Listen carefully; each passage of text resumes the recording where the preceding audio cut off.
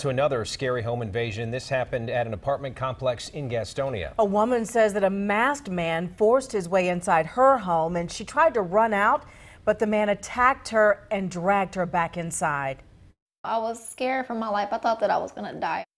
Wow, this attack happened early this morning on Camelot Court off West Hudson Boulevard.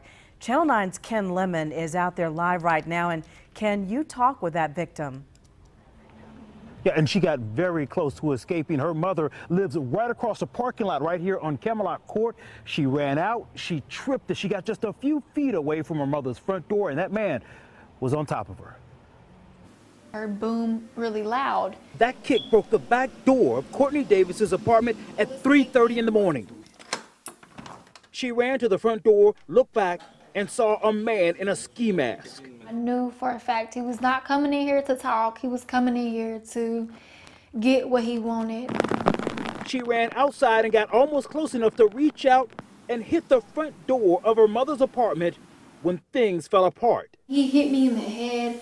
Boom! I just knew like I was gonna die. Like I just I felt like my whole entire life was over. The man hit her again with the gun. He told me that if I don't stop screaming, he was gonna kill me. He dragged her by the hair back into her home where a male friend was awake and started pleading with the man to let her go. She said the masked man was unfazed. I was scared for my life. I thought that I was gonna die out there. He didn't want the big screen TV in a box on the living room floor. He wanted cash. He drug her upstairs by the hair to get it. It was very scary. He took lots of money from her purse her cell phone, and put three pairs of shoes in a bag. He like let go of me and shoved me in the floor and ran down the steps. She didn't try to go back over to her mother's house. She said she was afraid the man was still in the area. So she drove to a store. She says on the way there, she saw that man working with her, walking with her purse. She told police exactly where she saw him in that area earlier this afternoon, Erica.